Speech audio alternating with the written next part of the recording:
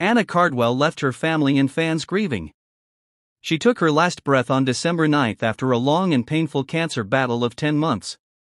Apparently, Mama June was the first one to share this heartbreaking news of her daughter's demise and left the world in tears. Amid all this, it seems that Anna's daughters aren't able to deal with the loss and are mourning the death of their mother.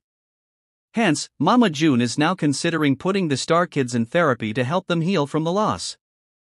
Are Cardwell's girls not doing well? Mama June decided to take one of Anna's daughters' custody after her death.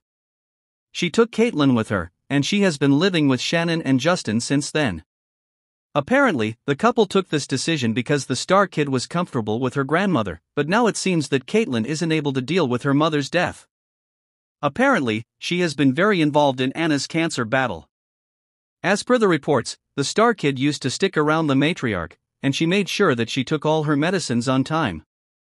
So, the star kid has a lot to unpack after Anna's tragic death recently. TMZ confirmed that Caitlin spoke at Anna's funeral. She initially didn't have any plan to do so. But the Mama June Star Kid couldn't control her emotions and changed her mind. The source confirmed that Caitlin talked about all the memories that she had with Anna.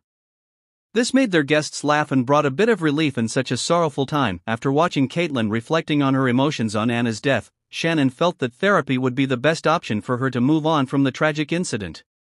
She would be able to talk to the therapist and be able to deal with her grief. Hence, June's family is now considering opting for a therapist for Caitlin. Caitlin is currently living with Mama June. But Anna's eight year old daughter Kylie has returned to her biological father, Michael. Initially, fans were upset about the fact that Shannon was separating these sisters and wasn't letting them mourn the death of their mother together. However, Caitlin and Kylie are connected via calls and talk to each other frequently.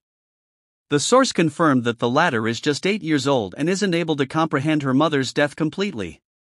She isn't able to understand the current dynamics, which is perhaps making it easier for her to move on. Kylie has even returned to her school on Friday.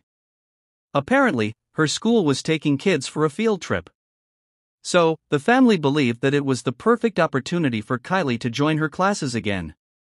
They also seemed to be happy that she was back to her routine and believed that it was a good sign. not So, as per the current scenario, it isn't clear that Kylie's biological father would consider sending her for therapy. Keep coming back to Stars Gossip 24 YouTube channel for the latest Mama June tea.